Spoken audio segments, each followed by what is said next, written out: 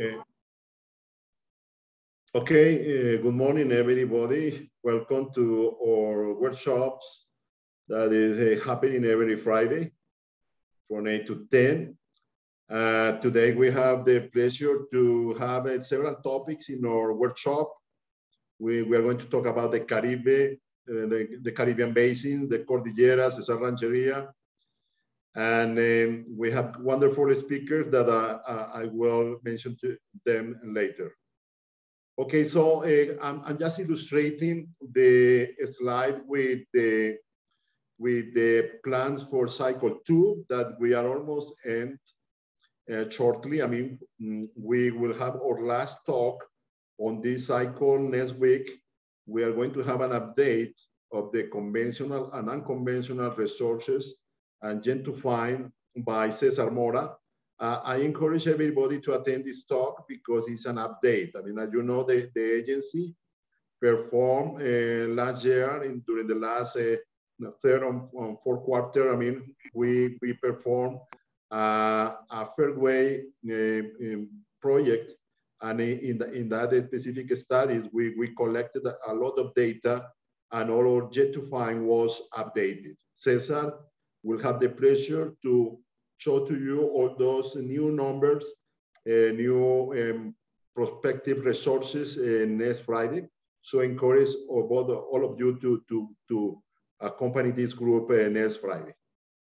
After that, uh, uh, I'm talking about um, I'm talking about uh, August 13 to November 17. We are going to have very interesting talks we are going to talk about the, the Caribbean. As you know, we have wonderful news in the Caribbean that, that are going to be announced by the agency shortly.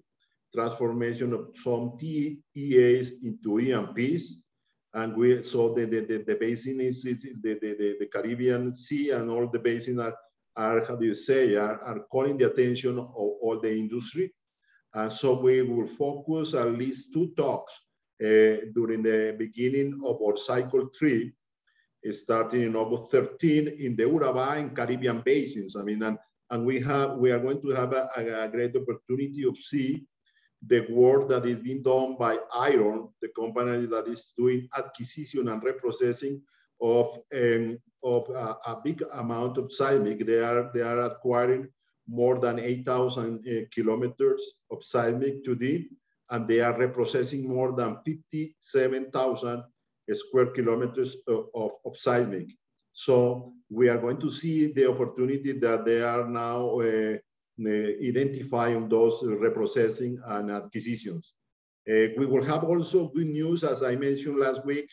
We are going to illustrate uh, week by week all those opportunities that were that are in, in the bank here in the, in the, in the, in the storage bank of, of, opportunities in the ANH regarding um, those undeveloped discovered reservoirs or areas in which it, uh, that they have production in the past and they were given back to the agency. So we are going to illustrate all of them one by one during the following weeks. So uh, the, the purpose of that is that if you like any of those opportunities, you, as you know, you can incorporate that area into the process of Ronda 2021. Okay, and we also would like to mention to you all the progress that this group has done during the, the year in a specific uh, um, basins like the Middle Mag. I mean, there we are going to talk about the Lisama Formation, which is, is one of the most uh, uh, promising uh, uh, stratigraphic units in the Middle Mag. Also, we will, we will Mm, mention to you and give you presentation of the Onda formation in the upper Mag. And, um, and also it's something that you, you, you will find very interesting and important for all the people in, that are, are uh, looking for an opportunity in this Ronda is that we will uh, mention, we will give you technical talks of the five incorporated areas that, that are being proposed for this uh, round 2021. So a very interesting cycle three, more than 14 sessions we will have here uh, starting August 13, and I encourage all the group, all, all you guys uh, to be here. And don't forget the students, I mean, the students that are with us uh, on those Fridays, workshops um, on Fridays, that we are working very hard in, in preparing um, the, with the MinCiencias, those uh, financial support for your thesis for um, uh, geologists and uh, petroleum engineers uh, in the pre-graduate studies. So don't forget that we are working here in preparing that, in structuring those projects, and we will let you know the details of those um, of those opportunities shortly. Remember that those are, will be in in uh, frontier areas, Caribbean, Caribe, Chocó Shore, Chocón Shore, Tumaco Shore, Tumaco Shore, Cauca Patia, and Caguán, uh, especially on frontier areas. Okay. we have one one uh, microphone open uh, of the speakers. Well, anyway, uh, today we have the pleasure to have the Universidad de Caldas giving the first talk that is titled Stratigraphy and Paleoenvironments of Colombian Caribbean and Eastern Cordillera Basins based on ANH wells. And it's going to it given by mm, Felipe Vallejo and Andres Pardo. I have other, other speakers uh, that the university is, uh, has uh, included in this talk, and I'm going to talk a little bit about the background of each one. Uh, Andres Pardo, uh, you know Andres, professor of the university, is he was, was graduated in 1988. Uh, he's graduated from the Universidad de Caldas. He is a geologist with a uh, postgraduate study. He's a master of science in, veg in vegetal micropaleontology, and he's also a PhD in science from the University of Liege in Belgium. He has experience of more than 30 years in the, in the industry, and he is currently the director of the IIES in the University of Caldas. We have also Felipe Vallejo with us, graduated in 2011 eh, from the University of Caldas. He's a geologist as well, master science in earth science, and a PhD student in geology from the Universidad de Salamanca, Spain. He has 10 years of experience in the industry, and he is also part of the IIES of the Universidad de Caldas. We have with us also from the University Fabian Gallego, Gallego graduated eh, in 2011 from the Universidad de Caldas.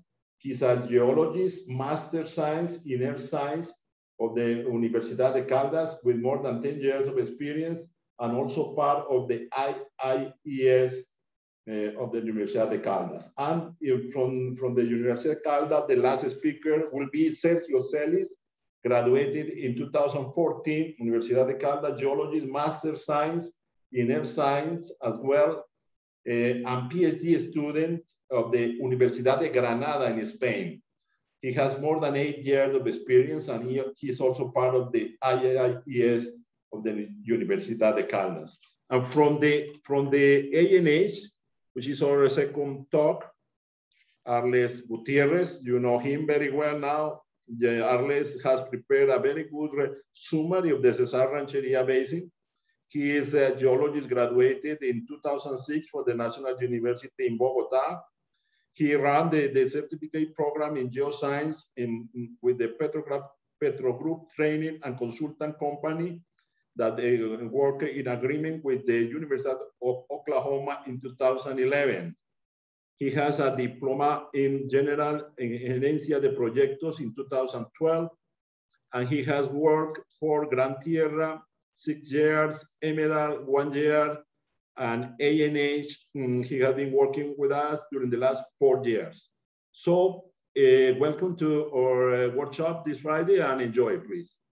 Don't forget that any question can be addressed through the chat and, and, and Daniel Rodriguez or, or, or geophysicists will be pending on, on, on answer all, all of them uh, during or, or after. Thank you very much. Eh, Andrés. Thank you, Miguel.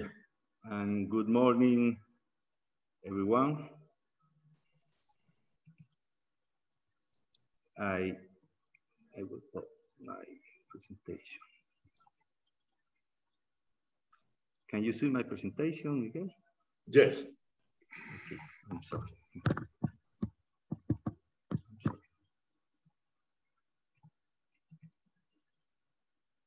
Okay.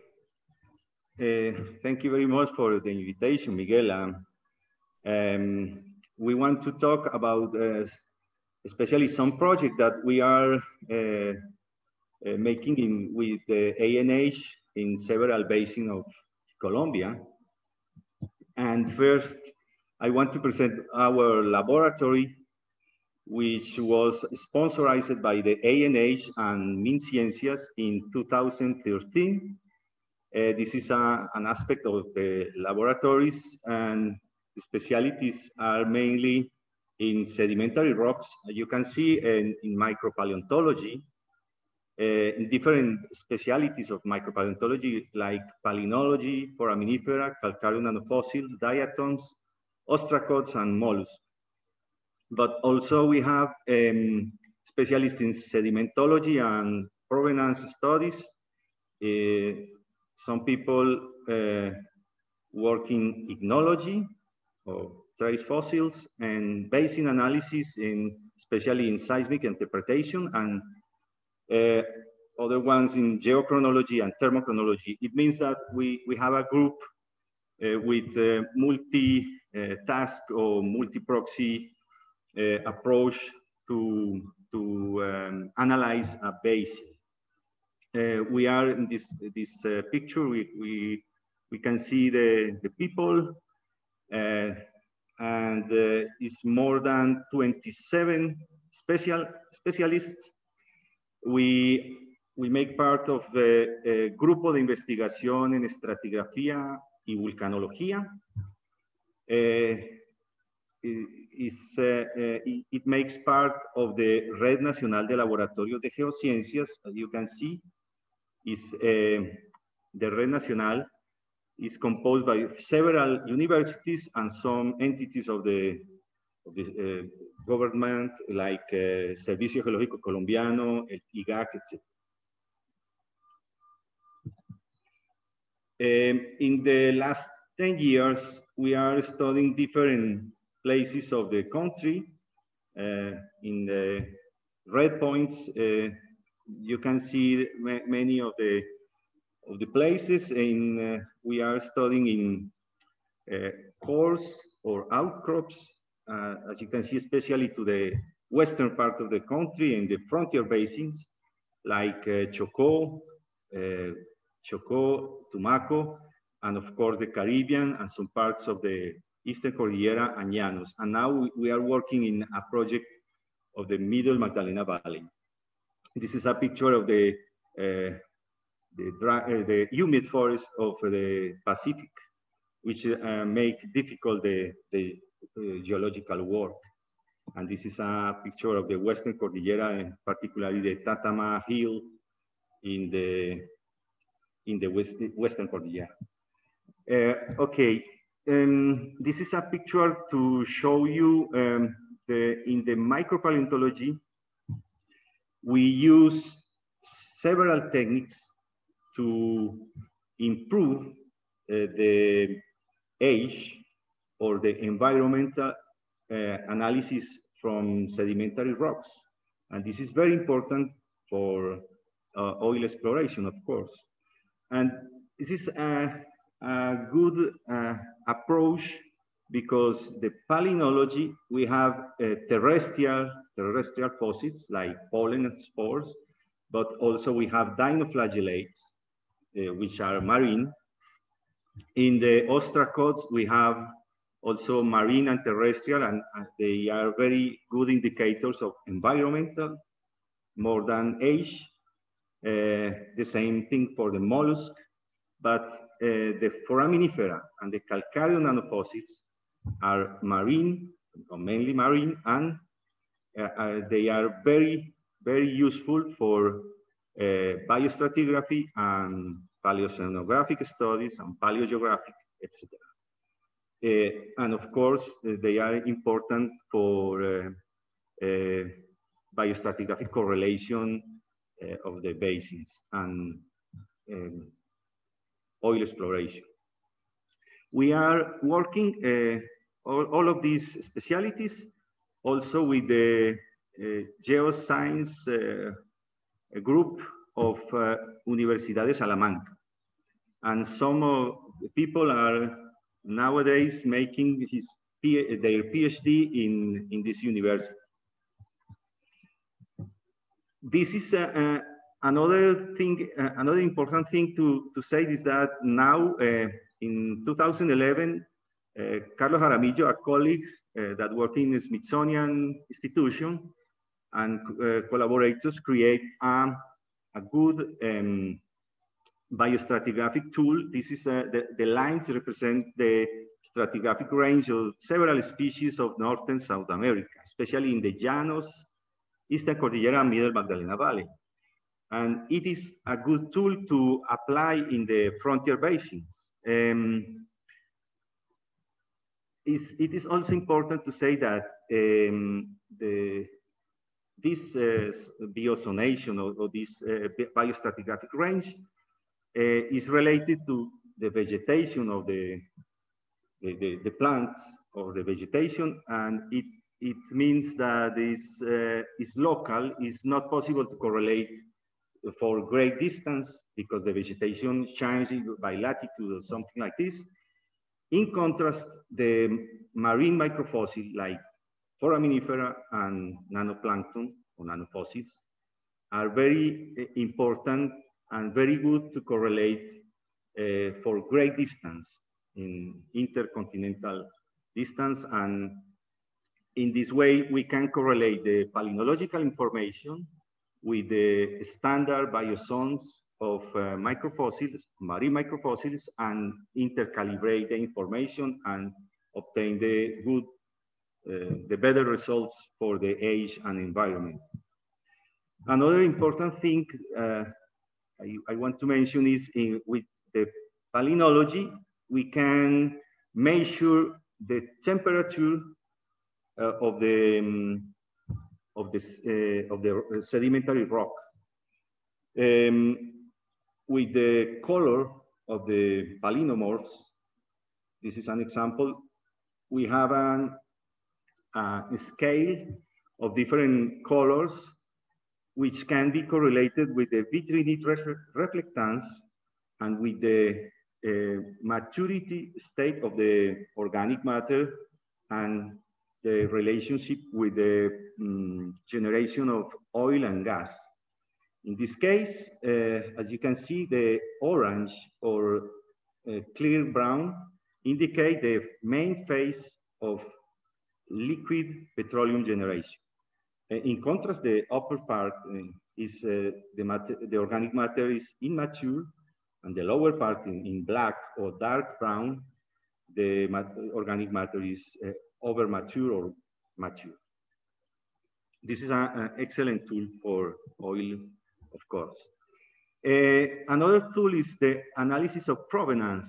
It means the the provenance, of course, the, of sediments, that, um, the different uh, areas uh, which um, the sediments came. Uh, in this uh, kind of studies, we use uh, cores or outcrops, the conventional petrography, the heavy minerals. We study also the petrology of the basement, economic basement, uh, probably igneous and metamorphic rocks we use also the uh, detrital geochronolo geochronology and uh, some techniques with um, with uh, scanning electron microscope like cathodoluminescence, uh, etc. Okay, now um, we are, I'm, I am going to talk about the project. This is um, a map uh, with the location of the stars uh, are the location of several wells that drill ANH. And the, the main uh, goal of ANH is to increase the geological knowledge of the basins and their petroleum potential. in this project, we use, we uh, study, especially the wells located in the Sinu San Jacinto fault belt in the Caribbean.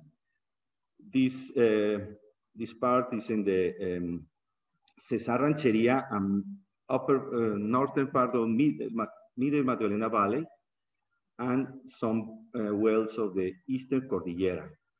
Uh, it's important to mention that this project was made uh, one part by the University of Caldas, another part by the Universidad Industrial de Santander. Especially uh, the UIS study this the, the uh, green stars, the, the wells. And the main goals or the goals of the project were, was the to determine the age and the positional environments of 50,000 feet or 15,000 meters of cores from different basins. And another important objective was to improve the academic formation of professionals of the research group. This is was very good. It was very nice. Um, the methodology of the project, of course, uh, the the cores uh, are stock in the National Core Library, Litoteca Nacional in Piedecuesta, Santander. Here we can see the, the aspect of the cores and the, uh, the study of, of them. Uh, the first step was um, to describe fit to fit uh, in detail all the characteristics of the, of the cores.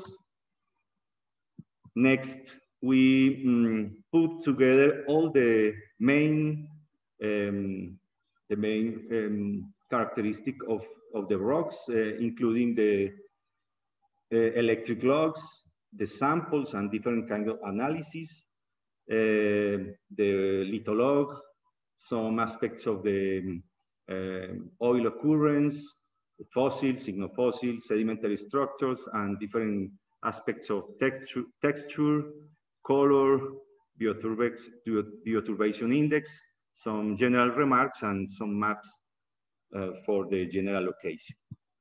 And after that, we uh, divide all the, all the logs in facies and we use the, we interpret the facies association, like in this example is a small piece or, or the Nueva Esperanza well in the in San Jacinto. And uh, with all the characteristics, we interpret the stacking patterns uh, and um, the depositional environments, in fact. Um, these environments were interpreted com comparing the, the, um, the characteristic of the wells with the modern environments uh, available in the, in the stratigraphic books and something else.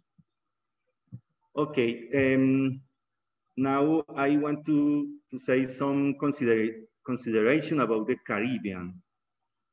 Uh, Caribbean, the Caribbean area, the Colombian Caribbean is particularly complex, a geological complex area. Uh, and for this reason, there is different hypotheses about this geological evolution. This is one point. Uh, we have also, there is a high potential for oil discoveries. And now I, there is a new oil and gas discoveries uh, and many oil seeps in, in surface. And this is important for, for exploration. And another important thing is the sedimentary record. Um, it goes from Cretaceous or late Cretaceous to recent. And uh, there is uh, important variation of facies in uh, vertical and temporal scales. And there is also the presence of regional unconformities uh, identified by biostratigraphy or seismic. And another important thing is uh, the tectonic uh, acts simultaneously with sedimentation. It means that many the uh, units, sedimentary units, uh, suffer erosion uh, of previously, uh, uh, there is erosion of previously accumulated units. And this is uh, quite important to, to mention because the, most of the studies in the Caribbean has been based in cuttings, in cuttings in, in exploratory wells from the industry. But now with the ANH and the drill of uh, exploratory uh, wells, uh, all of them uh, core, we have the opportunity to, to understand the sedimentology and the biostratigraphy and micropaleontology without this, this kind of problems. Um, in uh, last year, we, we made, University Caldas made, we made a, a regional study of the Caribbean, and these lines represent the stratigraphic um, cross-cutting that we, we construct for understand the uh, lateral and vertical distribution of, of facies and units. I, I want to show you particularly two, the C1, which is parallel to the Sinú San Jacinto fault belt, and the C3 is uh, perpendicular to, to this one. Uh, these uh, lines, it's important to say that it, it, was constructed with 58 wells, many of them the new ANH wells and surface geology in some cases. And this is the, the first one. Um, we have here the, the correlation of the wells and units. And in this way, we can see the lateral variations of, uh, of facies. Um, my colleague Felipe is going to talk about the, the biostratigraphic tool because it was very important to put in time each of the wells. This is the another card in the perpendicular to the last one.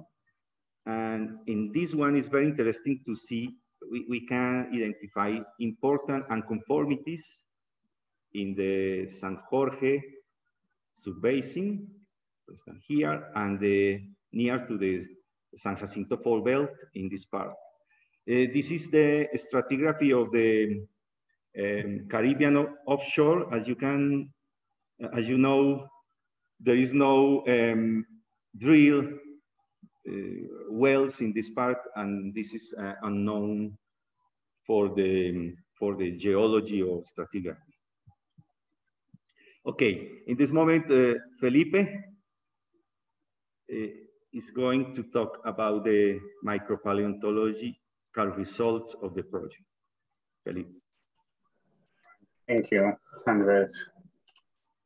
Start sharing. I don't know if you can see it now.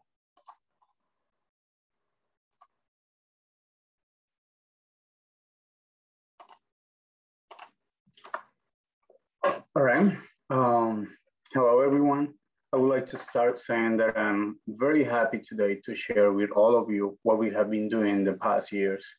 And I would also like to thank the, the ANH for their support. So what we have here is the summary of more than uh, 2,000 samples biostratigraphic analysis of pollen, dinoflagellates, calcareous nanofossils, benthic and planktonic foraminifera, and some microgastropods. Um, so what we have here is uh, the result of uh, biostratigraphic analysis conducted on over 26 cores drilled in the Cesar Rancheria Basin, Eastern Cordillera, and Sinú San Jacinto Fault Belt. This multi-proxy study is uh, probably one of the first works that constantly integrates terrestrial and marine microfossils from inland uh, rocks of Colombia. So we have been observing that for most of the biostratigraphic results, there was a good correlation between terrestrial and marine microfossils. And they complement one to each other, making age models more uh, reliable. Uh, we interpret that these results are telling us an interesting story on when and how sedimentation occurred in, in these basins since the early Cretaceous up to the Neogene. So what we are gonna do now is to go through one of the main uh, biostratigraphic intervals that we have, uh, have been finding. So the oldest uh, micropaleontological assemblage uh, was found, found in the analyzed cores consists uh, mainly of pollen and some um, dinoflagellates of the early Cretaceous in the Cesar-Rancheria Basin. Uh, marine microfossils were very rare in this basin and, and palynology was essential to date these rocks. Our biostratigraphic results uh, indicate a biostratigraphic range uh, from Berriasian to Aptian for the oldest rocks uh, in this basin. Um, we found similar results uh, for the starry rocks from the Eastern Cordillera. Pollen and dinoflagellates, again, they help to constrain the age models and calcareous um, nanofossils or calcareous microfossils were not so abundant. But once we found them, they overall generally agree with palynological results. Uh, these, the ages of these cores in the Eastern Cordillera can be as young as uh, Santonian in the, in the late Cretaceous. And here we have some of the pictures of the microfossils that we found in these cores.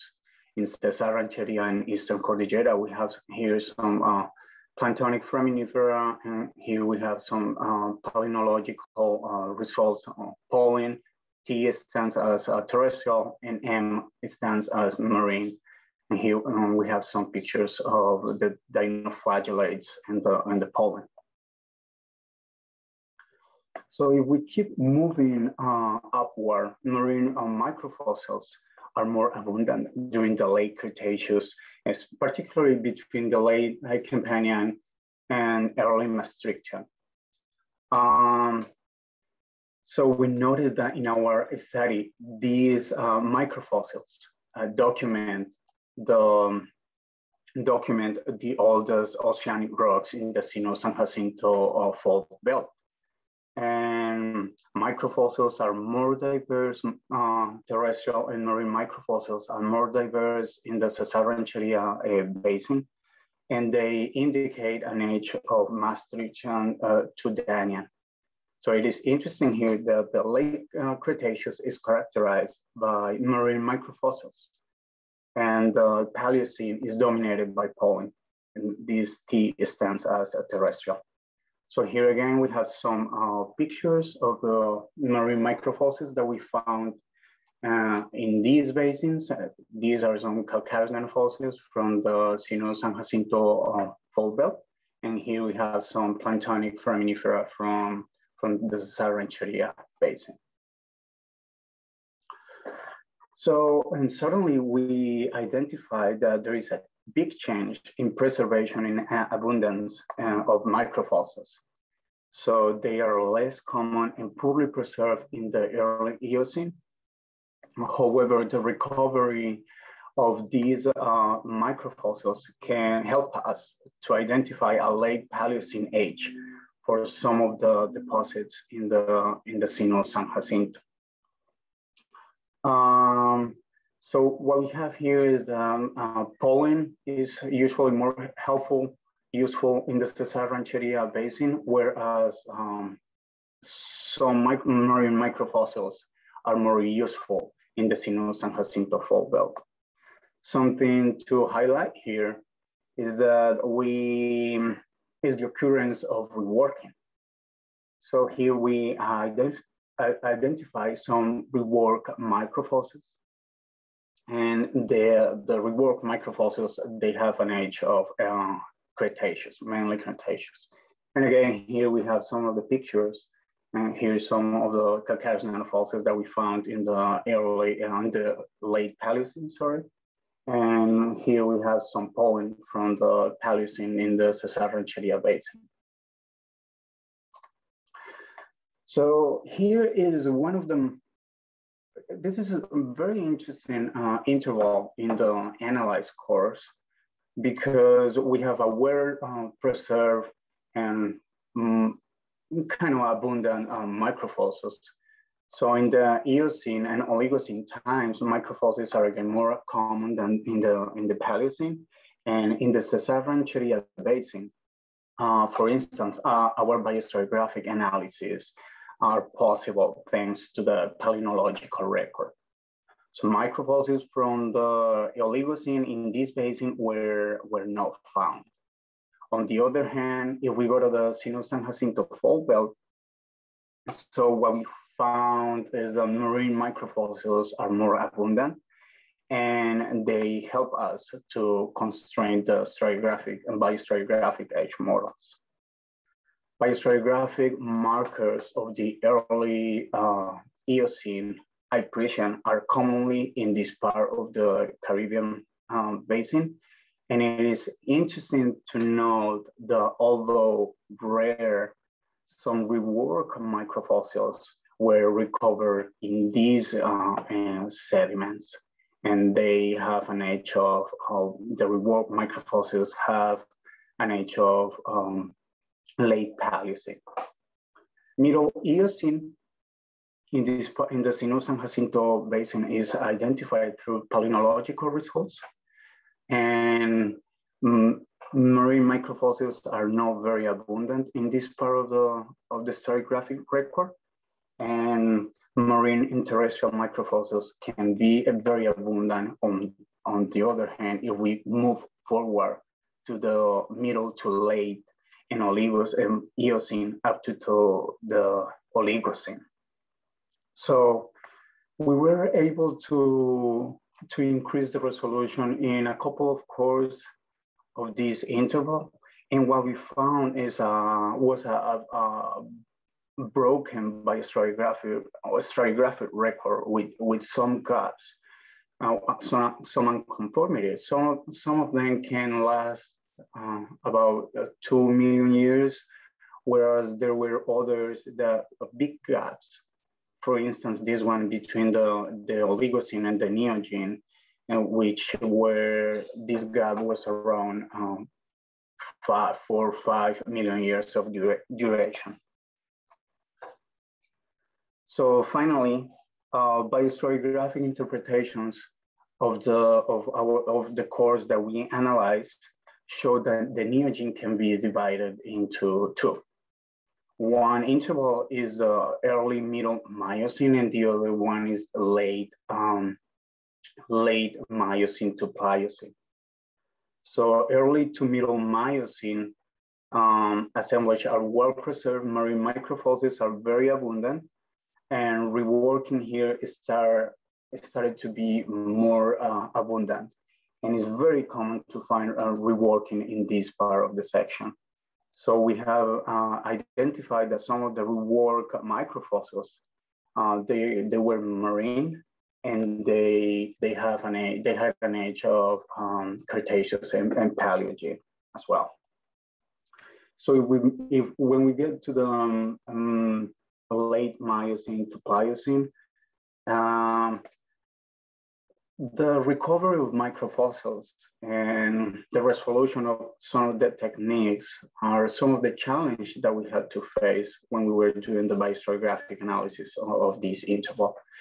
Um, there is no good preservation, but once we find um, marine microfossils, they are telling us that, that there are ages from Tortonian to Zanclean reworking again in this part of the of the stratigraphic record in the from the analyzer course, and they are telling us that there, there was intense reworking from the from the Paleogene in general, from the uh, Cretaceous as well, and from the early Miocene.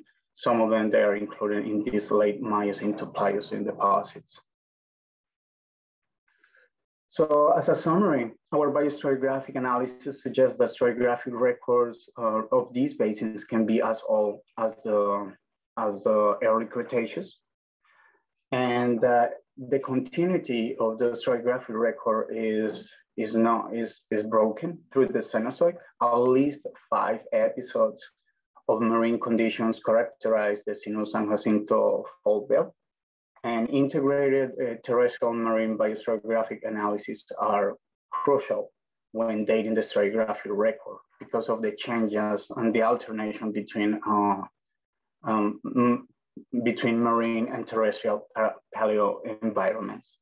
Reworking again in the basins can be traced at least four times during the Cenozoic, and it became uh, more intense towards uh, Neogene deposits. So well, thank you for attention. And now my colleague Fabian is going to talk about sedimentological features and sedimentary environments of the Sinú San Jacinto belt.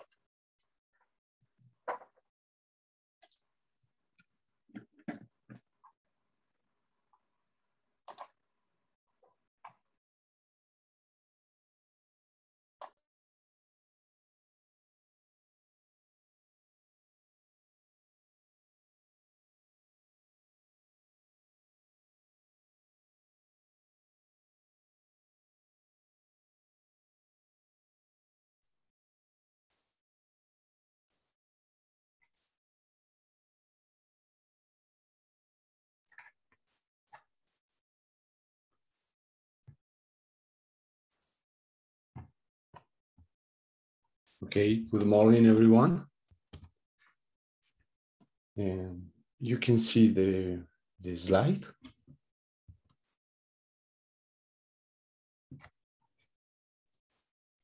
Yes.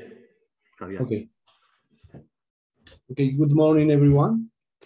And thanks for attending this workshop and thanks for the ANH for giving us the opportunity to study these wonderful rocks the sedimentation history in the Sinú San Jacinto Basin began in the late Cretaceous. Unfortunately, no ANH well yet has drilled these rocks. Mm, the last sedimentological study carried out by um, in San Carlos and Chicoral quarries was developed by Giraldo 2020. He described tabular thin beds of limestone interbedded with mud rocks and shares with parallel lamination or massive structure. Cansona facies were interpreted how pelagic and hemipelagic deposits perturbated by chondrites, planolites, and Zoophycos associated with Zoophycos ichnofacies. And, um, and he concludes that sedimentation took place in deep marine environments, but we need new, that, new, new data specifically a core well in the Cansona formation that allow us to study in detail the sedimentological, micropaleontological, and geochemical properties of the most well-known source rocks of the Sinú San Jacinto Basin.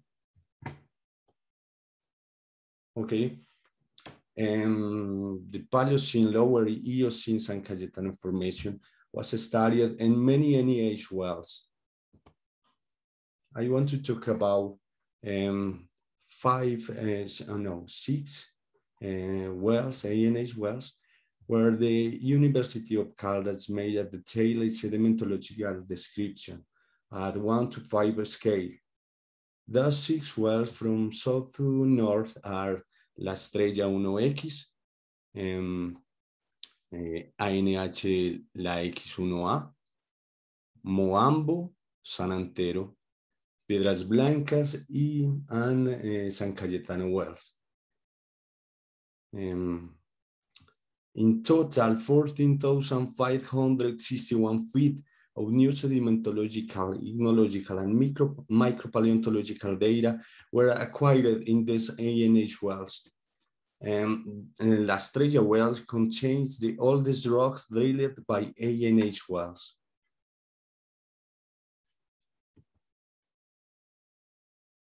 The two wells located to the north have similar sedimentology data with normally graded sands We resemble classic Bouma sands uh, sequence. At the base is normally the erosive contact in many times with fluid cuts or, or groove marks. The TA facies is a massive sandstone, TB is a sandstone with parallel laminations, TC is a ripple sandstone, or in some cases, uh, this ripple sandstone contain um, subsediment structure.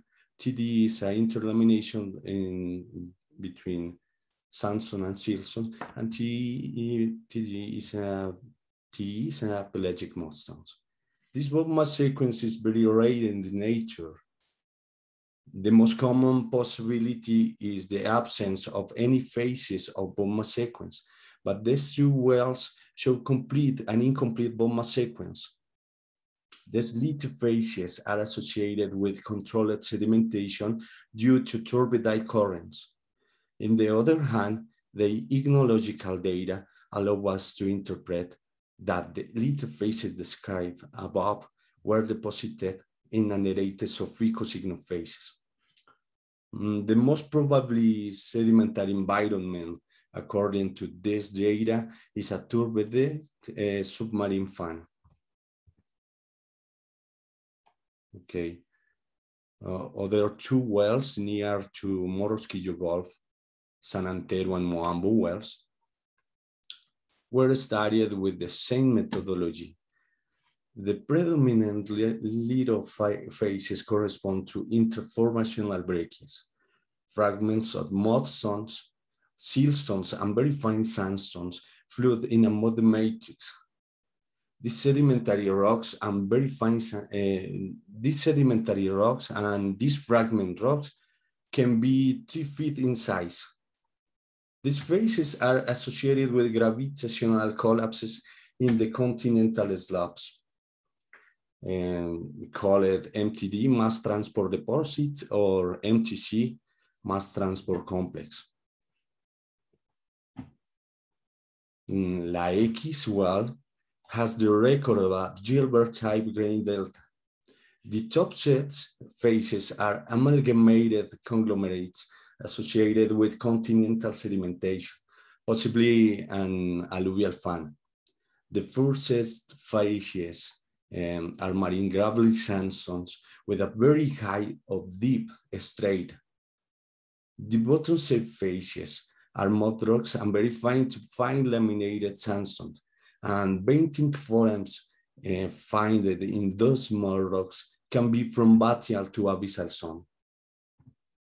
Finally, in the La Estrella well, association of pelagical and hemipelagical mudstones was described. At the base of the well, interformational breccias were studied. Those breccias are very similar to rocks described in the San Antero and Moambo wells. Okay. This data of six ANH wells allow us to interpret the San Cayetano formation was deposited mainly in deep marine environments, maybe in a sloped forearc, in a configuration of a sloped forearc as proposed by Mora et al. 2018. Provenance analysis for early Eocene sandstones um, were presented in a geosphere paper by Osorio Granada et al. 2019, correspond to San Antero well, and the master dissertation by Munoz 2021 uh, correspond to Piedras Blancas well. They interpret that the, um, the detritus come from of igneous and metamorphic, metamorphic massives located close to the deposited site. Um, and the source of sediments come mainly from the Protocordillera Central uh, and the lower Magdalena Valley basement.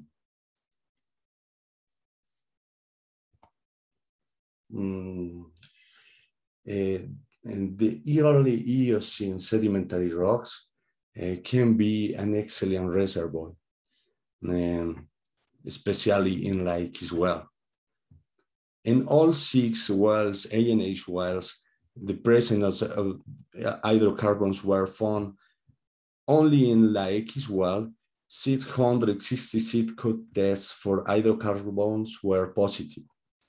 The porosity versus permeability graphs show the excellent reservoir facies found in a Gilbert type grain delta and the MTD facies can be an excellent seal because it is mostly muddy and apparently there were not a few gravitational collapses in the slab. The middle to late Eocene sedimentation style is very different from the previous one. In this moment, this, the calcareous and siliciclastic shallow marine sediment replace previous deep marine environments.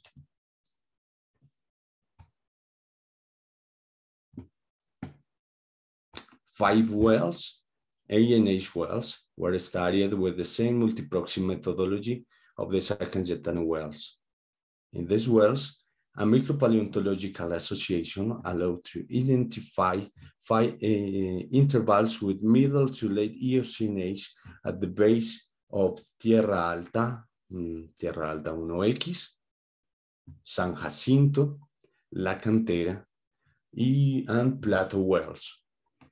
In La Estrella well, middle to late Eocene rocks are in the middle part of the well.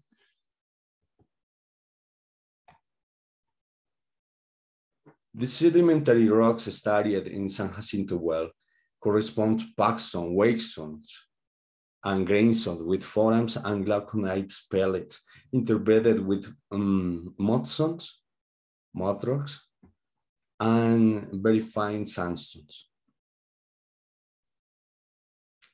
Uh, occasionally, uh, maybe some marks. In the Tierra Alta course, a study of calcareous microfacies microfacies is under development.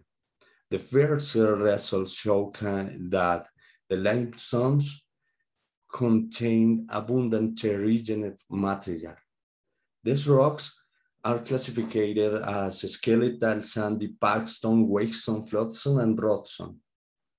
The sedimentary environment for this limestone is similar to the proposed by Salazar Ortiz 2020, but in the Tierra Alta and San Jacinto limestones, uh, the terrigenous material were abundant.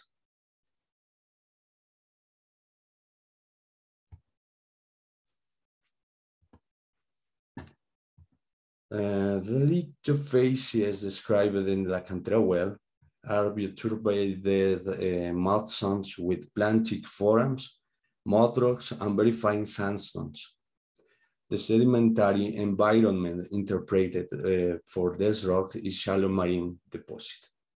For the La Estrella well, the middle to late Eocene rocks correspond to massive conglomerates, bioturbated sandstone and mud rocks. The sedimentary deposit environments for these facies were interpreted uh, as fan delta. In the Plato well, um, a petrography uh, study was carried out. The sedimentary rocks found at the base of the well are organic shales, and the complete study of the Plato subbasin allows uh, to interpret a restricted bay sedimentary deposit environment. This deposit environment helps to preserve the organic matter in the shales Perhaps the rocks of the middle to late Eocene in the Plato well are the main source rocks of the basin. And finally, geochemical data for the mud rock found at the base of Tierra Alta, uh, Tierra Alta ANH well, show two intervals with properties for source rocks. Maybe these rocks at correlate with the rocks in the Plato well, in the base of the Plato well. But we need more micropaleontological data to correct, correctly position this interval. Now, uh, now the geologist Sergio Celis will speak of sedimentology and sedimentary environments of the following periods. Thanks.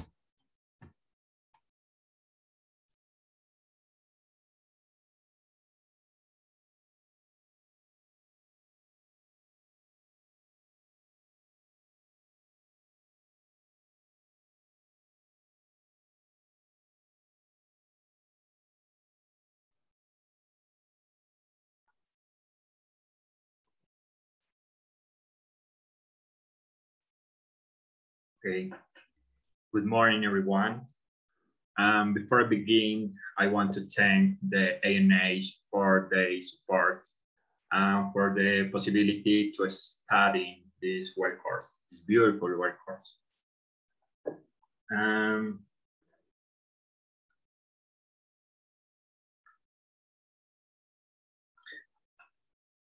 we have also had the opportunity to study some stratigraphic well cores that have drilled Oligocene to lower Miocene sediments.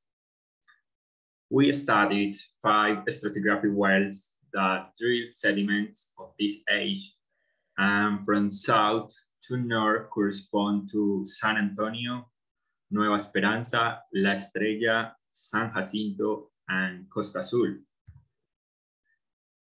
And I would like to start by showing you the San Antonio stratigraphic well.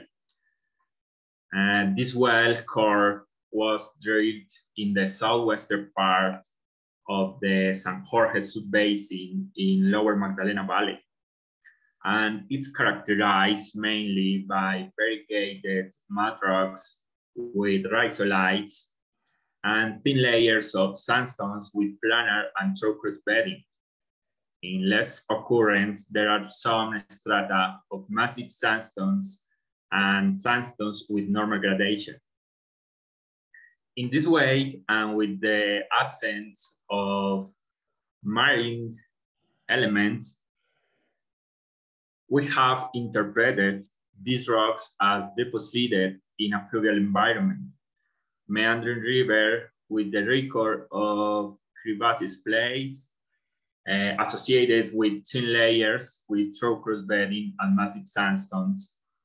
Uh, floodplains associated with massive variegate mud rocks and channel and bars associated with strata of sandstone with normal gradation.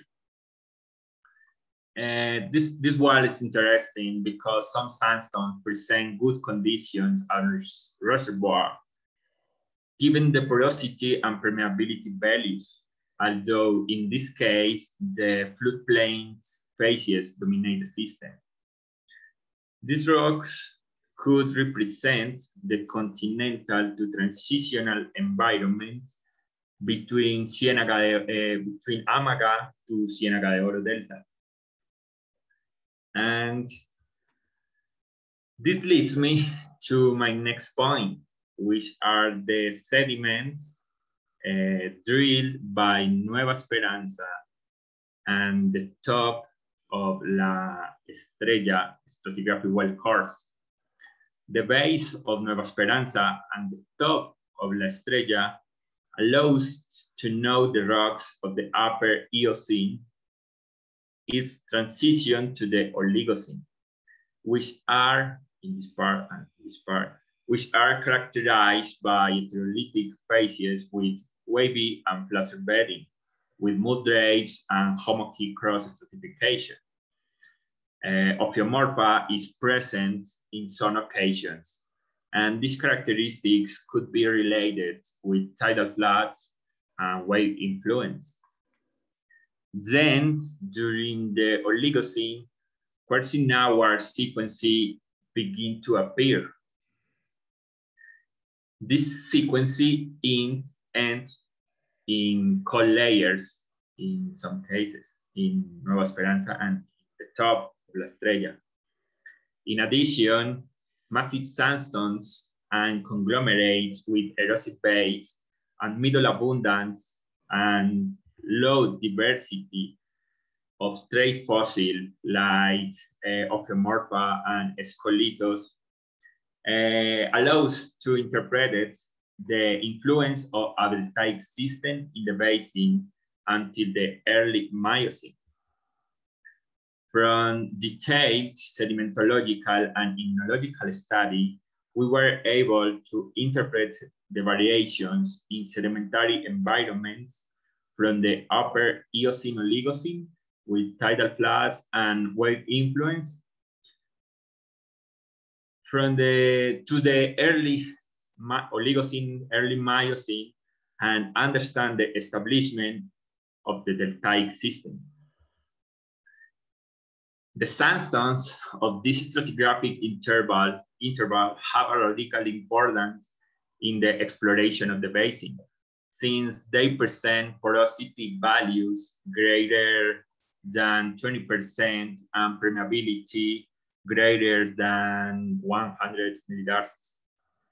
More than 200 samples were used in this characterization. Moreover, the sandstones have hydrocarbon impregnation in some cases. The importance of characterizing the subenvironment lies in fact that not entire stratigraphic interval of the Oligocene to early Miocene represents good conditions as a reservoir. As you can see in the graph, there are intervals of 300 uh, feet dominated by mud rock species associated with interdistributary bays. And for this reason, it's essential to characterize the reservoir in great detail. As I mentioned at the beginning, uh, some works made our group published the last year by Osorio Granaga and the other one by Manco Garces showed that the origin of these Oligocene deposits could be the south and the east. Our lines of evidence suggest that the source of the Ciénaga de Oro formation can be related to the basement of the lower Magdalena Valley, Central Cordillera, and in a lesser percentage, the Western Cordillera. Uh, we are also studying other wells for the northeast of the basin. The first well is here, and this well core is here. These wells, the top of the San Jacinto and Costa Azul, are very interesting because they represent distal facies during the Oligocene. These wells drilled sediments characterized by mud rocks and limestones with hummocky cross stratification, oscillation ripples, and in some occasion unidirectional ripples with high values, values of bioturbation index and an association with Ctenidium, Teichichnus, Chondrites, and Thalassinoides. Which leads us to interpret offshore to shelf environments associated probably with El Carmen Formation and represent the distal facies of the deltaic system already described associated with Ciénaga de Oro Formation. These rocks could function as a cap rock, but also as potential hydrocarbon source rocks, as has been shown in some studies. For example, this study by Osorno Orangel for the ANH, where in addition to the Cretaceous Eocene oil system, they proposed uh, Oligocene, Miocene oil system with source rock and reservoir rock throughout the deltaic system, all deltaic system. We have also studied the rocks of the lower to middle Miocene associated with Porquero Formation. And local and regional work has been carried out at ES. The group of foraminifera have studied P18 well core, and based on benthic and planktonic foraminifera, they have established a Burdigalian to Langhian age and a bathyal to platform environments for the sediments that are above of the de Formation. Furthermore, Alejandro Arenas studied the Transandean seismic line and well cores associated in his master. In his master. Arenas in 2017 was able to characterize and correlate a regional event after the early Miocene associated with a marine flood. From electrical record lithologies, biostratigraphy data, he was able to establish that this marine flood event was recorded throughout the basin, and this made their this may therefore represent a regional cap rock in the basin. Finally, we have studied in detail uh, a stratigraphic well from the late Miocene. Los Pájaros is a well that records the phases after the marine flood, characterized by massive laminate sandstones, conglomerates with erosive base, variegated mud rocks, coal layers, and dolichology, palynomorphs, ostracods, and macrofossils, the establishment of a new deltaic system can be interpreted after the marine flood. Thus, in the Oligocene to Miocene can be defined a cycle with transitional to shallow marine environments associated with Ciénaga de Oro formation, interrupted by a marine flood associated with Porquero formation, and the subsequent establishment of another fluvial to transitional system. Thank you very much.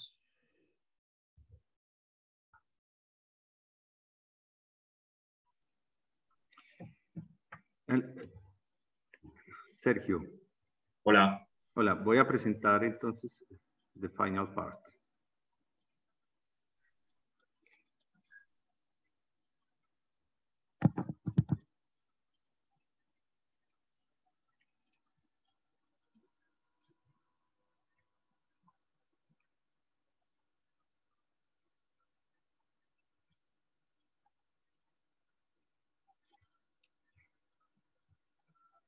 Okay, um,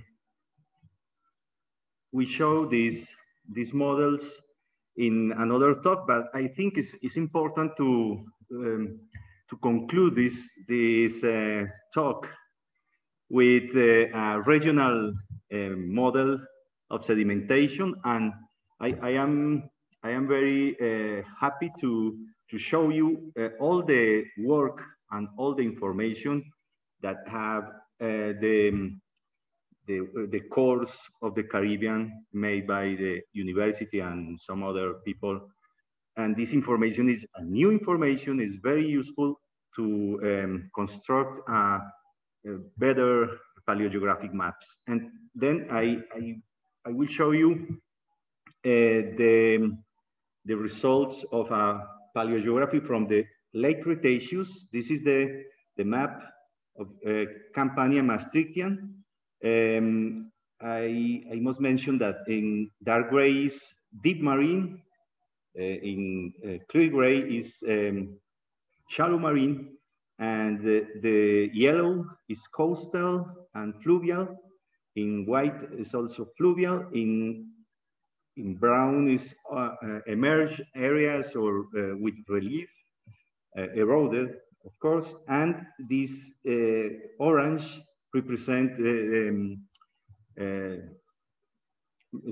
submarine fans. Okay, and in the in the late Cretaceous, we have in the northern nor northwestern Colombia, the probably the the basement of the Central Cordillera emerged um, related to the collision, the diagonal collision with the some portions of the Caribbean plate.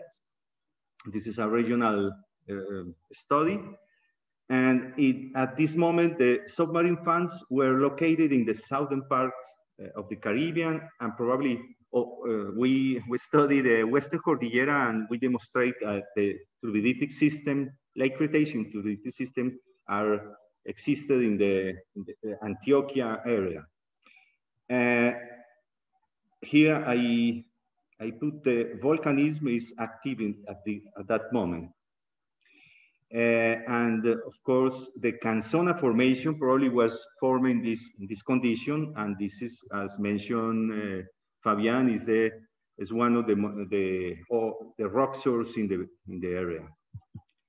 Then in the late Paleocene, early Eocene, uh, the the basement of the of the lower Magdalena Valley start to uplift and uh, some of the previous accumulated rocks are eroded. As mentioned Felipe, there is uh, rework microfossils is, is very common in this kind of, of environment. And the development of uh, mass transport deposits in, in uh, um, turbiditic fans. Uh, Fabian showed uh, us uh, several wells that can be demonstrate the sedimentology of this, this kind of deposits. Then this is late Paleocene, early, Miocene, early Eocene, I'm sorry. Next is uh, in the late middle Eocene, uh, Fabian showed um, the evidence of um, mixed platform in the western part and southwestern part of the, of the Caribbean and probably in the Plato basin, uh, restricted bay as uh, we show here.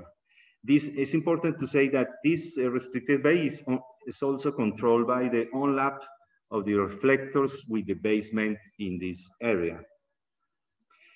Uh, in the Oligocene or during the Oligocene, we, we can see that the shoreline start to, to go to the south, southeast, and the tectonics uh, probably control the uh, Magangué-Cicuco height which separate the Plato from the San Jorge Bay, San Jorge Basin, I'm sorry, subbasins, and uh, the development of some uh, carbonates, riffle carbonates, but in this period is not uh, very important. Then it, during the Miocene, early Miocene, as uh, Sergio showed, the sea uh, continues to go to the, the coastline continues to go to the southeast and uh, some uh, reefs, carbonate reefs are well developed in the Cicuco High, uh, which were covered in this period with shallow marine deposits, uh, terrigenous and carbonates. Another important thing is uh, in, in this place, as Alejandro Mora show uh, also is that there is uh, some uh, shallow um, areas probably related to tectonics. It, it means that the previously accumulated rocks uh, are deformed, were deformed and um, eroded. In the middle Miocene, this is the uh, maximum flooding surface occurs in the lower middle Miocene, and then all this fluvial system, probably the Magdalena and Cauca, start to progress to the north from middle Miocene to, uh, to um, the actuality. Uh, and uh, all the surface of the Caribbean was occupied by uh, fluvial sediments. Um, and also it's very important here that as the coastline uh, moves to the north, uh, important an important uh, sandstones of um, turbiditic fans were developed in the offshore and they, they are the most important reservoirs in, in this area. And this is uh, this story that we can uh, share with uh, you to um, to understand to understand the, the evolution of the basin of the Caribbean. Thank you very much. And we we can uh, I, I don't know if we have questions. Oh, it's, it's, uh, we, we, are in in time I think, Andres, the questions will be at the end of the session. Okay. So, okay. Yep. Thank you.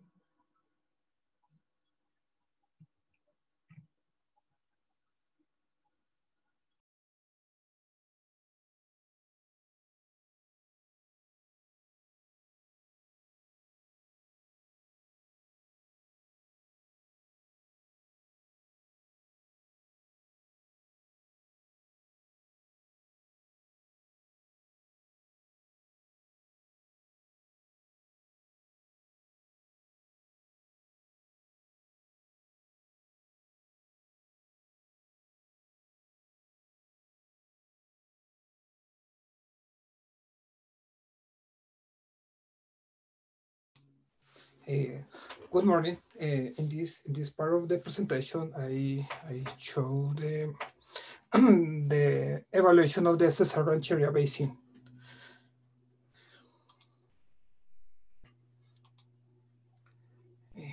uh,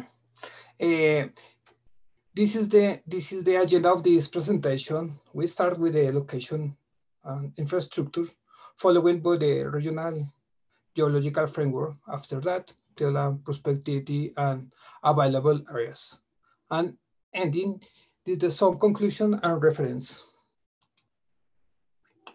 Uh, the Cesar Rancheria Basin is located in the northern part of Colombia and is limit, limited to the north by the Guajira Basin, to the, to the south border by the Lower Magdalena Valley Basin, to the east by the Serranía de Perijá, and the west by the Serranía, the Sierra Nevada de Santa Marta.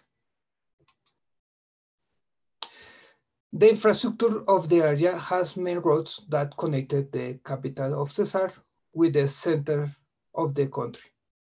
With the basin, two pipelines run out of the first, the first vein, the Pozos Colorados Galán pipeline and the Ballenas Barranca Bermeja gas pipeline. The regional geological framework uh, on the left, we can see the geological map on the, surf, the, on the surface of the surface, uh, in which the, it is observed that the basin has a filling of quaternary rocks with some outcrops of Cenozoic rocks, especially in the areas where the large coal mines are located in the south of the north. On the east and west edge, where our change of reliefs is observed extensive outcrops, the rocks appear from the Paleozoic to the Cretaceous. On the right, you can see the generalized column and the sub-basin which is located at the south and Rancheria sub-basin to the north. The section about the economical basement begins with the sandstone and conglomerate on Rio Negro formation of the Aptian, of the Aptian, the Aptian uh, age, following the sequence of the marine rocks of the Lagunillas and Lagunillas and and and Aguas Blancas formation from the Cogollo group. Uh, following uh, the shales and carbonates of the La Luna formation,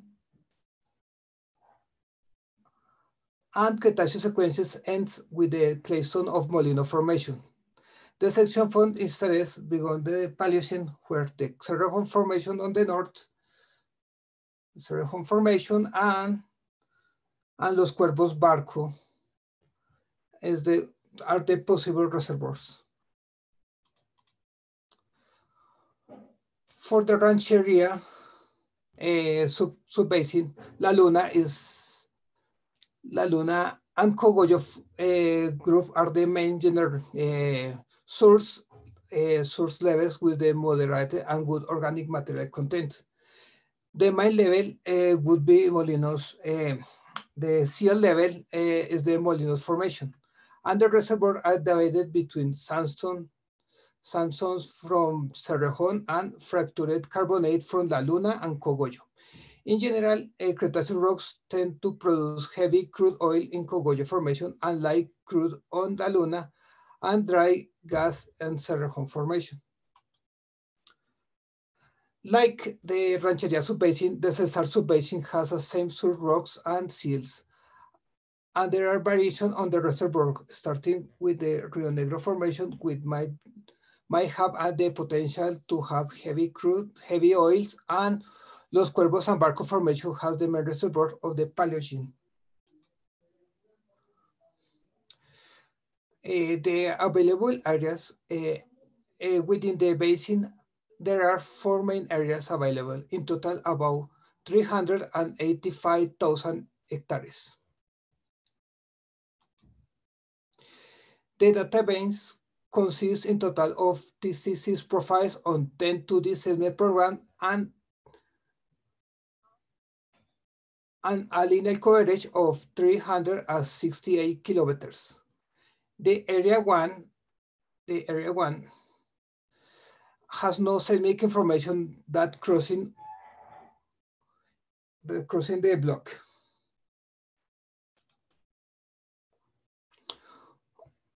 Uh, on the on, on of the characteristic of the area is this proximity with the base of the San, Sierra Nevada de Santa Marta.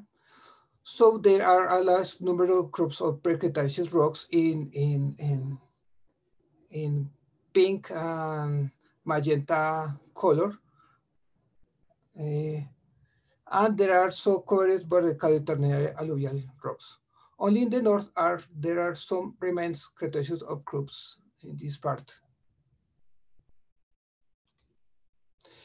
In the area, thus, more than 70% of the area could be correspond to the horst that this core emerged Jurassic rocks or the Quinta Formation in, in this, in this uh, patch of, of blue, blue polygons. In the footwall of the San Diego uh, Cuatro Vientos fault, there are a possibility of degenerating some structuring in Cretaceous rocks, especially in the La Luna Formation. Pero, but uh, this slow seismic coverage makes it difficult to interpret this type of, of, of, of play. In the area three, the northern or central zone is presented was a wide region, region with Jurassic rock outcrops.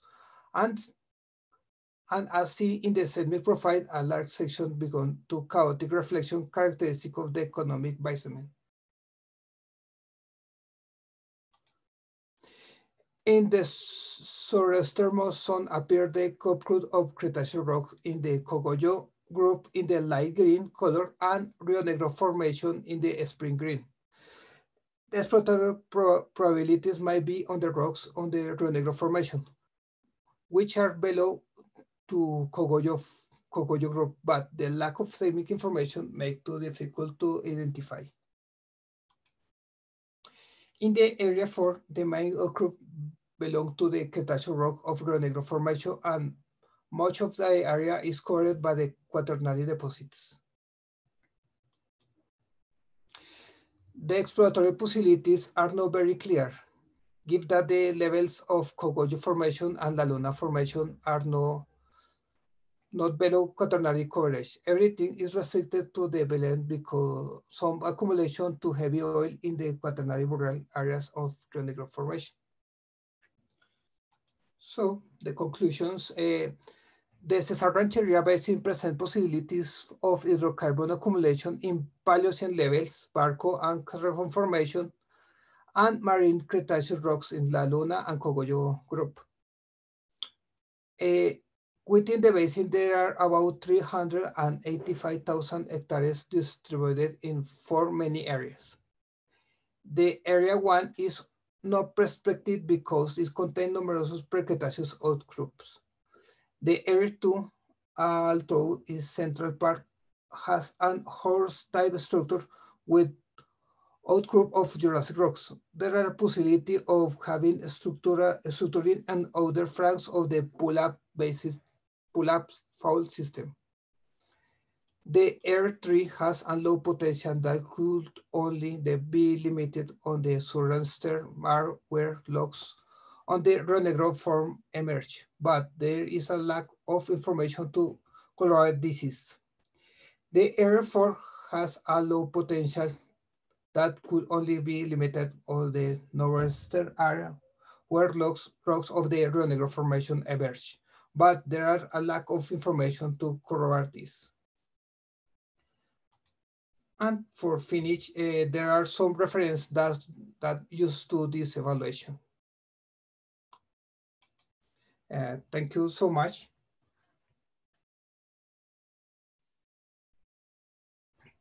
Okay, thank you, Alex, and thank you, the whole team of the Caldas University. So if any of the attendees got any question for any of the presenters of the speakers that we have had today of the Universidad de Caldas or got any question for Alex, we'll be glad to ask them and hopefully give an, uh, a proper answer. Does anyone have a question? Daniel, can, can we can we maybe repeat uh, the, the read the questions and the answers from the uh, where where they are addressed during the talk? You have to a list there. I'm I'm not sure. Uh, during the, the chat, we have yes. some comments, but there are no questions. It's but just, uh, can you read the comments uh, in general? Uh, there are it's just the, comments. it's just the comment of Alejandro Mora about. Uh, he said Thank you very much and congratulations to ANH and Universidad de Caldas. This is extremely valuable information and I look forward to discussing with you this new and very interesting. Oh, there is a question. Eduardo Mikushi asked, hola, buen día. Una pregunta. ¿Cuándo van a subir a la red las presentaciones de Putumayo y Catatumbo? Saludos. Eduardo, uh, we will shortly uh, ask to the to the promotion, the areas area of the ENH, because as far as I knew, the presentations should already be loaded into, into, the, into the web page. If they are not, uh, I will go in this very moment to the, to the area and ask them to upload them because those, those, of, those presentations were a couple of, of weeks ago.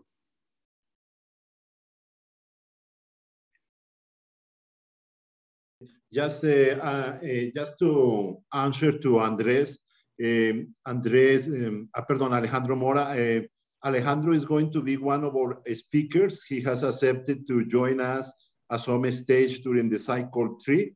Uh, we will have a special section of the lower Mag, uh, new findings, and we will have Alejandro as, as a speaker as well that day. And when, so I promise that next week on Friday, I will provide everybody with the list of the conference for cycle three, and Alejandro is going to be one of them. Uh, Alejandro's uh, presentation is going to be one of them, okay? Go ahead, uh, Daniel. Thank you, Miguel, for this comment. Uh, it seems there is a new Alejandro Mora is asking to Arlex. I will make the question in Spanish and Arlex hopefully will answer it in Spanish as well. Arlex, usted tiene nueva información sobre el posible eoceno en la cuenca, en la subcuenca Cesar, tal como la unidad La Loma, definido por, por nosotros, ¿sí? por, por la parte de Jocol, en 2006, cerca al, al sinclinal del descanso. Eh, pues buenos días. Eh, no, en el momento no, no, tengo, no tengo información sobre eso, pero eh, la, la, evaluación de la cuenca pues continúa. O sea, eso fue apenas un pequeño abrebocas de las áreas que, que están libres en este momento y pues no hemos adentrado en la parte, en la parte ya de los contratos que ya están firmados que eventualmente pueden tener algún tipo de, de estratigrafía de esta, de esta unidad. Pues en la parte, en las partes pues donde estaba haciendo la, la revisión, pues solo habrían afloramientos de, de paleozoico, jurásico y eventualmente el cretácico, pero no, no, alcanzó, no, no, se alcanzó a mirar esta parte de, del, del, del paleógeno dentro de la, dentro de la cuenca. Muchas gracias, Alex. Alejandro, just to, uh, Daniel, just to add to the Arles uh, comment uh, about our knowledge on, on the Cesar Rancheria basins, uh, I, just, uh, I, am glad to tell everybody that we have started uh, a project with the UPTC University last week uh, on the Cesar Rancheria and the northern part of the upper uh, of the Middle Magdalena Valley basin. So uh, that the study will cover the last five months of the year. And for sure, we are going to have very great news at the end of the process. And so more than 40 people will be evaluating that area is our understanding and, and uh, we'll let you know the, the result shortly, okay? Miguel. Yes. Hola. Um, veo que los asistentes, eh, pues creo que todos hablan español, entonces me permites hacer un comentario en español. Eh, simplemente quería decir que algunas de las ideas que nosotros hemos eh, planteado en el Caribe han sido polémicas, especialmente la del Pozo Plato. Y pues nosotros en una exposición eh, pasada aquí en, ANH y en algunos otros escenarios, hemos e, expuesto los argumentos por los cuales pensamos que este pozo pues tiene una edad diferente a la planteada por otros grupos, ¿cierto?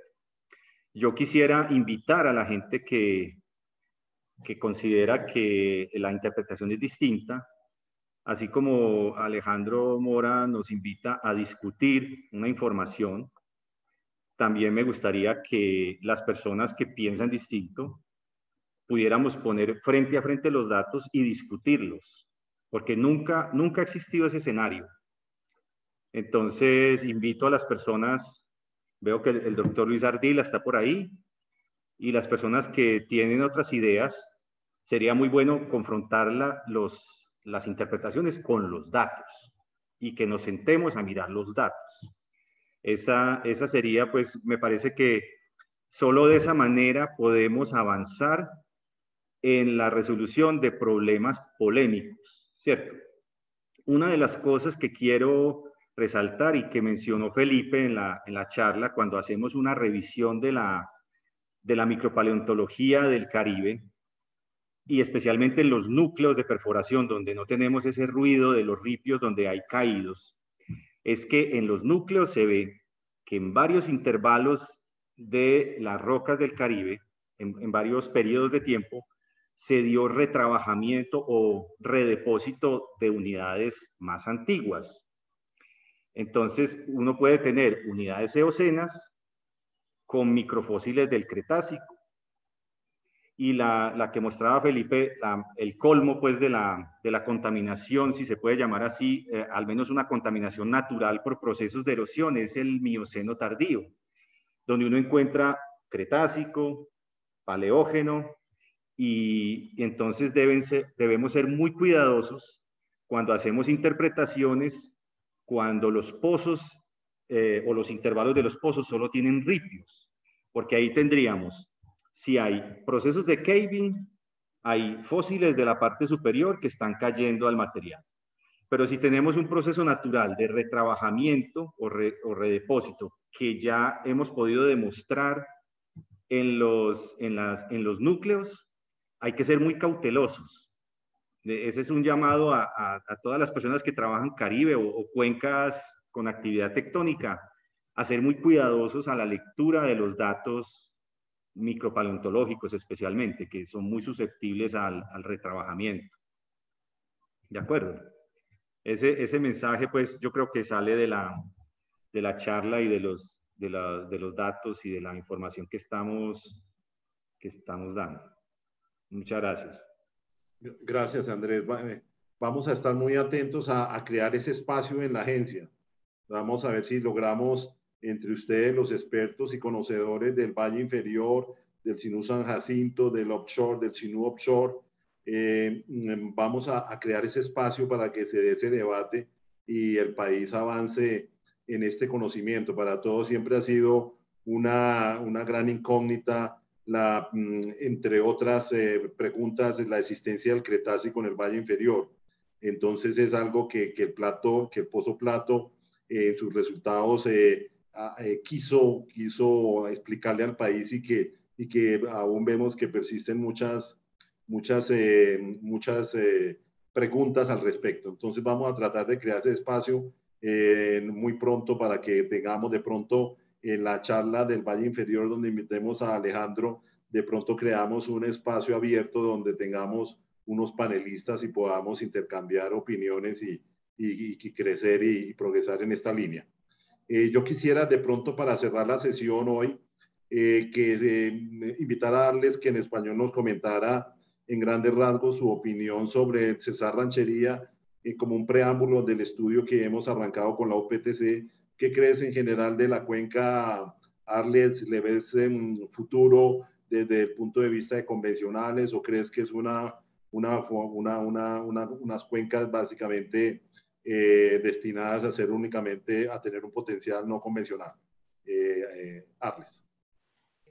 pues, ¿qué les puedo decir? Bueno, la parte, la parte, la parte pues, de, pues, que está, que ahorita con contratos de contratos EAMPI, pues tiene, tiene un, un, potencial, pues, relativamente, pues, bueno, pues, debido a que, pues, eh, la unidad, tanto el barco y barco y cuervos y cerrejón tienen, tienen eh, muchos, eh, pues, shows de, de, hidrocarburo y gas. Entonces, pues eso es, esa es la primera la primer parte. O sea, tiene, tiene, tenemos, tenemos un sistema petrolífero completo. Tenemos la roca fuente, que tenemos la luna, que eventualmente podemos también, también llegar a prospectarla para fracturamientos de, de calizas para también sacar hidrocarburo. O sea, la, la cuenca no está, no está complicada, pero sí requiere un poco más de información y un poco más de, de perforación porque los pozos son,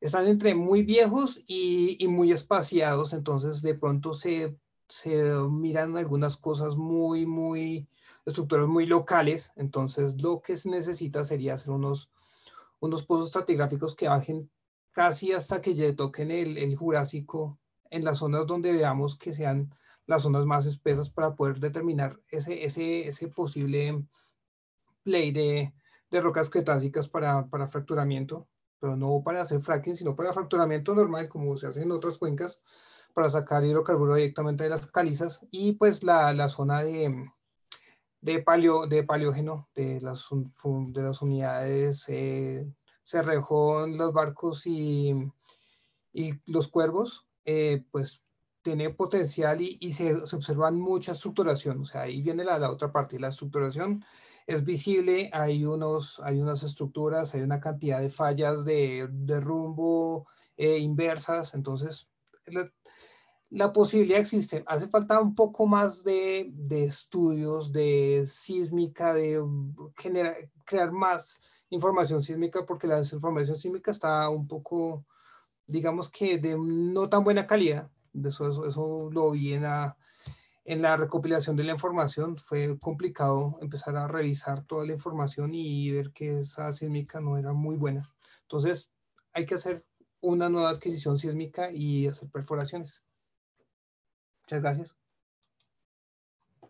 Gra gracias, Arles. Doctor Andrés, quisiéramos de pronto para cierre la presentación que nos dieras tu, un comentario general de, de, tu punto de vista y de tu equipo eh, sobre el área de, de, la parte norte de Colombia, cuál es tu visión desde el punto de vista de hidrocarburos, su potencial, áreas que tú creas que, que valen la pena y que, en la cual debemos eh, fijar nuestra atención. Bueno, uy, qué, qué, tantas cosas, pero lo que yo puedo decir es que la, la charla que se dio en, en una ocasión anterior, donde presentamos como el, el trabajo del año pasado de la integración, Ahí al final se hablan de los lugares más promisorios. Obviamente, eh, pues se hace, eh, cuando se hacen los corredores de prospectividad y el Jet to Find, que pues por supuesto es la subcuenca Plato, eh, está esta parte sur, don, sur del cinturón de San Jacinto donde está el pozo Tierra Alta, que Fabián justamente mostraba los datos que ustedes habían obtenido y que, por ejemplo, eh, convendría hacer un, estudio mm, cronológico, de alguna manera bioestratigráfico o geocronológico, la herramienta que permita ubicar bien esa, roca tan, tan uh, generadora o tan, de tan buena calidad.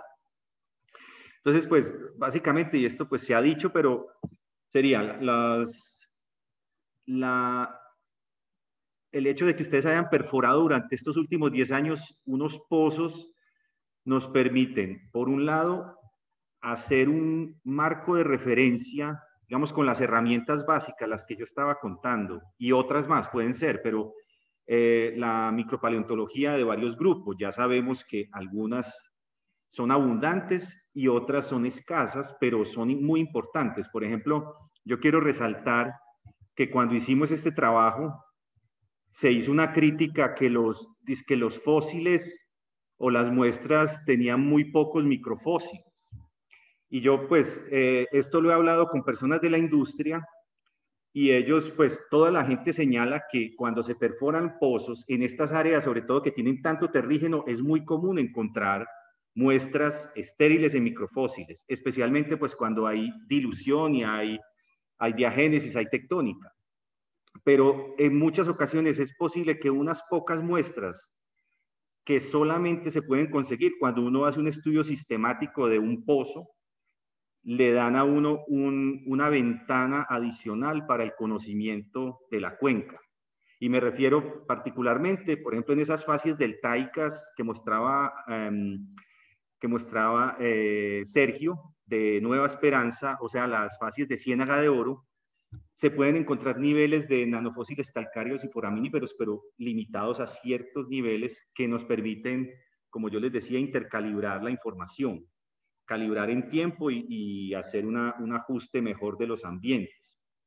Entonces, bueno, eh, sin entrar mucho en detalle, yo creo que todo eso abre una nueva posibilidad de hacer un, un marco de referencia mucho más sólido de la estratigrafía y de las herramientas que cuando las ya las tengamos maduras pueden ser útiles para exploración.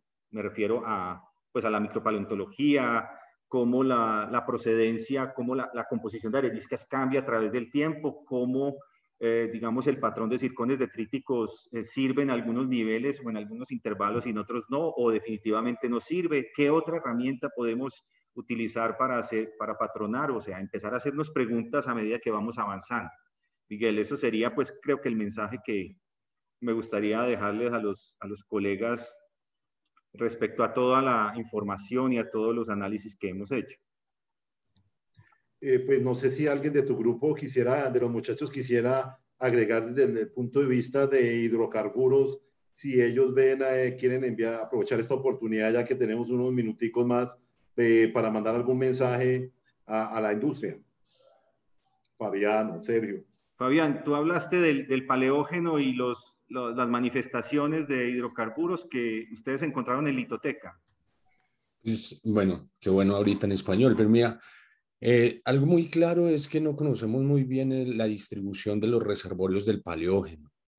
La cuenca conoce muy bien los reservorios, al menos, bueno, del paleógeno inferior, porque el oligoceno se conoce bien, pero de esas secuencias que nosotros hemos querido mostrar que se sedimentaron en ambientes marinos profundos, y que tienen una carga de hidrocarburos impresionante porque eran pozos que han estado guardados en la litoteca muchos años y después los sacamos y hacemos pruebas de corte y casi todas daban positivas.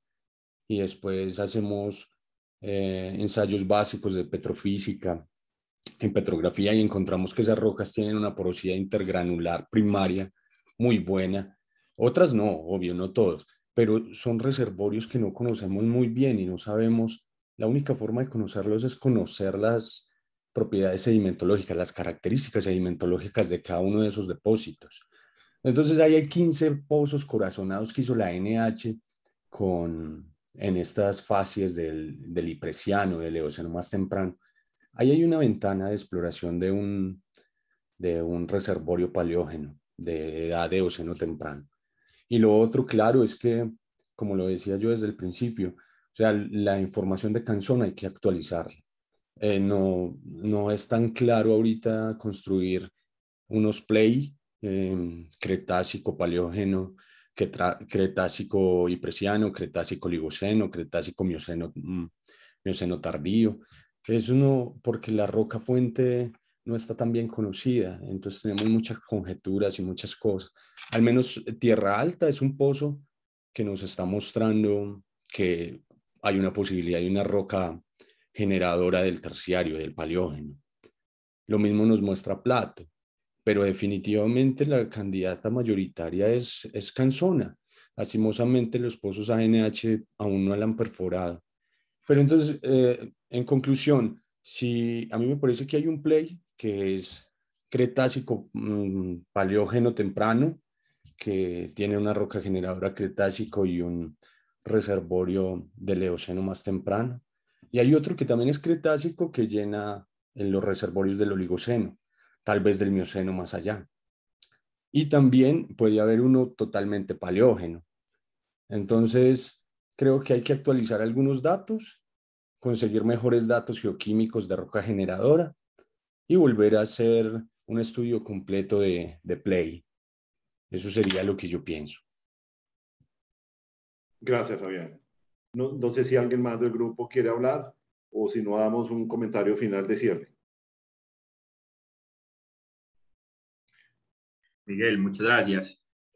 Eh, a mí me gustaría resaltar, digamos, eh, la importancia de los trabajos del instituto, porque son trabajos multiherramientas, multiproxys, que permiten construir y darle mucha más fuerza a cualquier modelo de, con, mucho más grado de detalle, porque no solo es la sedimentología, sino la bioestratigrafía, la etnología, la procedencia, la geoquímica, los análisis petrofísicos, la sísmica, e indiscutiblemente que eso siempre van a, generar nuevos resultados y nuevas eh, ideas que van a robustecer y fortalecer mucho más el modelo del sistema petrolífero del Caribe. Entonces sí me gustaría eso, resaltar la importancia, pues, no solo de nuestro grupo, sino de incentivar a que se generen muchos más proyectos y trabajos en torno al uso de, de muchas herramientas. Gracias. Gracias, Sergio. Ok. Eh, si no hay alguien más de la Universidad de Caldas, quisiera comentarles que, que bueno, con toda esta promesa de todas estas charlas que vienen en camino, eh, entre ellas la de Alejandro Mora, también vamos a tener el gusto de invitar a la Universidad del Norte. La Universidad del Norte em, eh, está ya en nuestro radar y vamos a cruzarle la, la, eh, invitación formal para que venga y nos presente. Ellos tienen un gran conocimiento del Caribe colombiano y seguramente que podemos aprender mucho de la nueva Facultad de Geología, eh, de Geociencias que existe en la Universidad del Norte. Entonces, estaremos muy pronto teniendo eh, noticias de, todo de toda la lista de conferencias que tendremos en este último ciclo y con la promesa de tener también a la Universidad del Norte exponiéndole al país eh, y, a, todos los que nos escuchan por fuera del país, que en muchos casos ha llegado a 27 países esta charla de los viernes, de los viernes eh, en la mañana un agradecimiento para todos, un feliz, eh, una feliz semana y nos vemos en, en, la, la, actualización del Jet to Fine para el país en convencionales y no convencionales el próximo viernes y también con la lista de todas las conferencias maravillosas que traemos para ustedes en promoción de la Ronda 2021 de noviembre 17. Muchas, muchas gracias y nos vemos pronto.